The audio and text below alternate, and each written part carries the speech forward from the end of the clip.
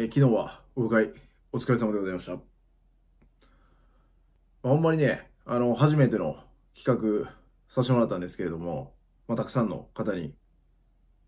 ご参加いただき、まあ、いろんなね、えー人の、まあ、ドラゴンズへの思いを、まあ、聞くことができてね、まあ、ほんまにいい機会になったと思ってます。まあ、ほんで、それからね、あの、まあ、ユタットもそうですけれども、まあ、会長もね、えー参加していただいて、まあ、結構ね、あの、喋ってもらったんで、まあ、ほんまね、えっと、満足いく、まあ、楽しんでいただける会になったんちゃうかなと、個人的にはめちゃくちゃ思っております。で、まあ、それからね、場所提供いただいた、まあ、ブランさんもそうですけれども、まあ、協力いただいた皆さん、本当にありがとうございました。まあ、皆さんのね、力があったからこそ、まあ、達成できた会だと思っておりますんで、まあ、これからも何か、またね、企画を考えてやっていきたいなと思っておりますんで、まあ、今回参加していただけなかった方も、次回はね、来ていただけると嬉しいです。よろしくお願いします。ユタット裏。まあ、ほんでね、今日はあの、プレミア12が終わりまして、まあ、全日程終わりました。まあ、これでまあ、日本のプロ野球も、まあ、とりあえず、日本のプロ野球っていうか、まあ、日本で一応今年開催されるプロ野球は終わりかな。まあ、ほんで、まあ、最終的にね、今日はまあ、日本、決勝戦で敗れてしまって、まあ、2位っていう結果で終わっちゃいましたけれども、まあ、僕はまあ、その勝敗云々より、まあ、こんな綺麗事言うたらね、あれかもしれないですけど、まあ、参加してる選手たちが、まあ、とにかくやっぱ大きな怪我なく終えれたっていうのが、一番、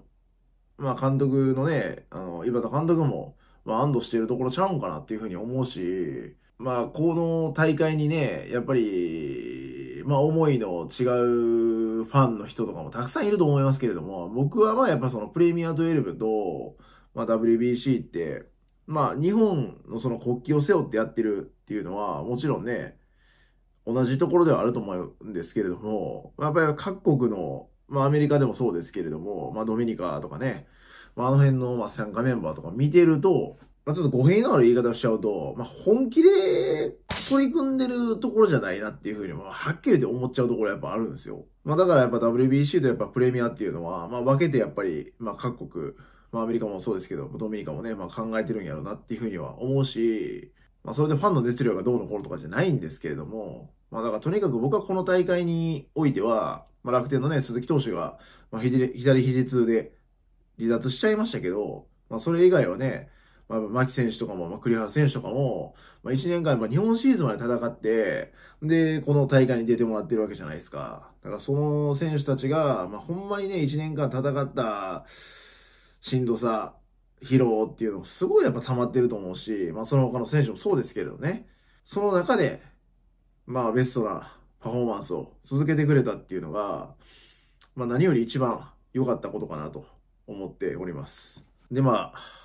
まあ台湾ね、あのね、まあ、普通にね、強いっすよ。まあ、打球もやっぱりいいし、まあ守備もね、やっぱレベル高いなって思うし、まあ野球ってね、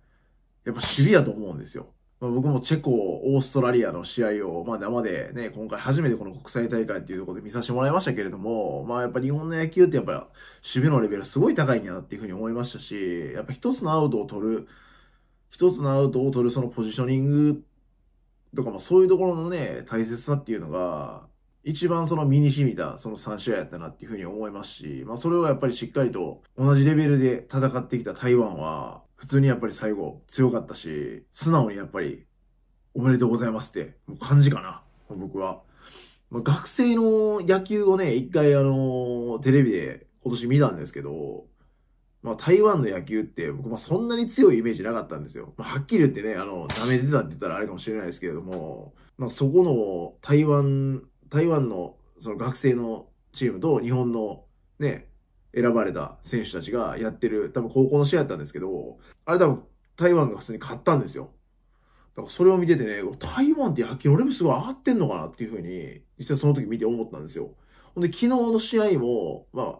僕全然見てないんですけど、まあ、9対6になってて、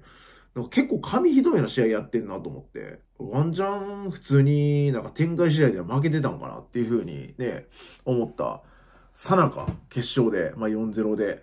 台湾が勝ったっていう、ね、試合で、まあ、やっぱ3番の選手とかもすごいいい打球飛ばしてましたし、もうなんか隙のないね、プレーを見せてたなって思うし、やっぱ台湾のチームがね、この大会にやっぱかけてた思いっていうのが、最後ね、泣いてた選手もおったし、まあ伝わってきたし、まあその台湾のその、勝ちに行くんやっていうその熱意と、そのチームの勢いに、まあ今回この決勝は、敗れてもたんちゃうんかなって思うところかな。ユタット裏。まあほんでね、敗れたから、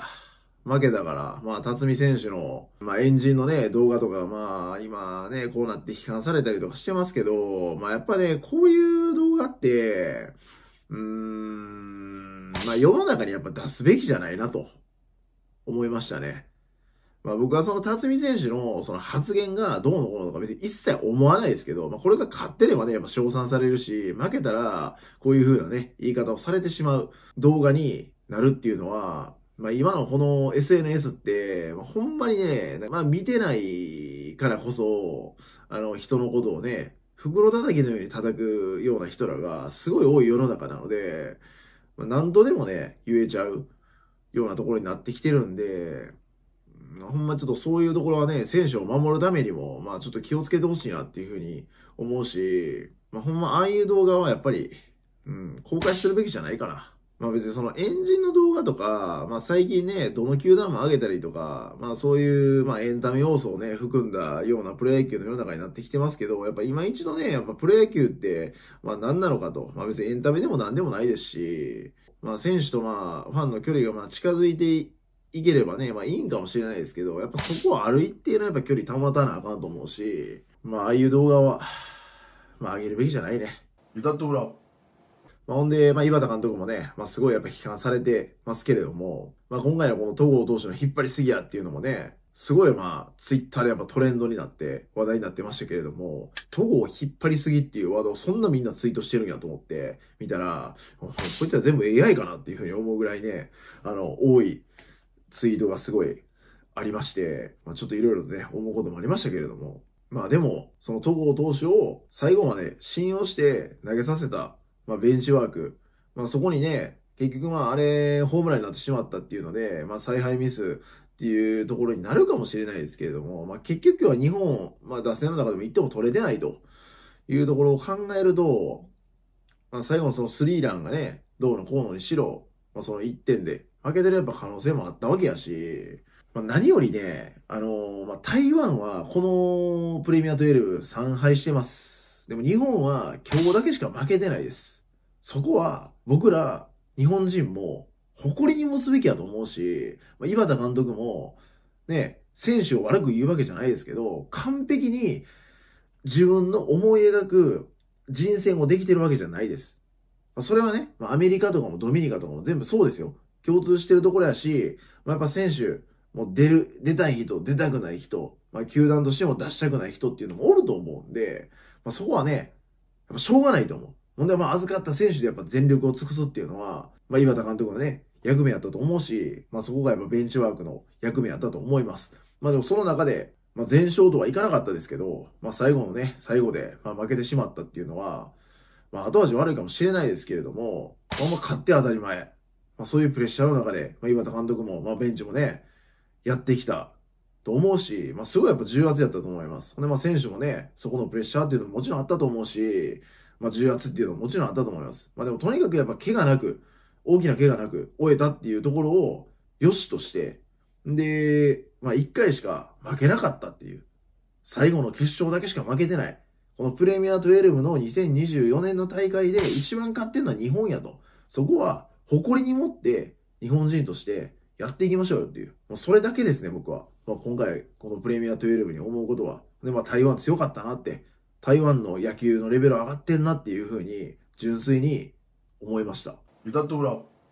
で、まあ、井端監督もね、まあ、ドラゴンズのコーチ要請を断ってまで、この侍ジャパンの監督をやるっていうふうに決められたわけですから、まあ、やっぱり WBC のね、まあ、次の大会も、まあ、もちろん監督としてやってもらいたいなっていうふうに思うし、まあ、そこでやっぱりね、ベストメンバーを選んで世界に戦っていく、挑んでいくっていう風なね、えー、ところになっていきますんで、まあそこからはやっぱりね、まあ、もっともっと僕らもね、意識変えて応援していかなあかんなっていう風に思うし、まあ、僕次はね、あの、なんとかアメリカまで、マイアミまでね、行きたいなと思っております。まあだから今回のね、この大会で、まあ、井端やめろやめろって、まあもうすでにまあツイッターで、なんかトレンドのようになっておりますけれども、まあ僕は井端監督はしっかり、これ続投して、WBC に備えて頑張ってもらいたいなって、普通に思ってます。まあ結局ね、采配なんで、結果論なんで、まあそれがね、当たるか当たらないかっていうところですよ。まあそれは当たる確率の高いところを選択していかないといけないっていうのはもちろんあるんですけれども、まあ今回のこの東郷投手の引っ張りすぎやっていうところは、まあもちろんね、あの僕この動画を出したら間違いなく言われると思うんですけど、まあでもそのチームの中で考えてたこととか、まあ東郷投手への信頼度とか、まあそういうところあると思うんですよ。井端監督自身もね。まあだからそこは東郷に託したと。まあそういうふうに思ってるからこそ、あそこ投げさせたっていうふうに僕は思ってます。もうだからそれはそれでいいと思います。でまあ東郷投手もそれがやっぱり経験になるし、まあこれからの、まあ日本のね、もしかしたらエースになってくれる存在になるかもしれないんで、まあそういうピッチャーなんで、まあいい経験になったんちゃいますか、今回。まあだから、井端監督、次もね、WBC で頑張ってくださいって。もうそれだけです。まあ僕はでもね、あの、井端監督には、まあドラゴンズで、まあ立浪さんと、まあ2022年から、コーチとしてね、やってもらいたかったなって、心の中では思ってます。まあでも、そっちの道をね、決められたんで、まあそれはやっぱり僕が幼少期から見てた偉大な選手なんで、まあこんだけね、やっぱり批判されてるのもやっぱ悲しいし、まあそこはね、結果出して頑張っていってもらいたいなと。以上です。まあまたね、今後ちょっとオフ会の動画とか、まあ、ファン感謝デーの動画とか、まあそういう動画をね、上げていきたいなと思っておりますんで、まあ、オフの期間、ちょっとここからね、えー、動画のネタも難しくなってくるところでございますけれども、まあ、また皆さん何かネタのご教示をいただけると幸いでございます。ではまた。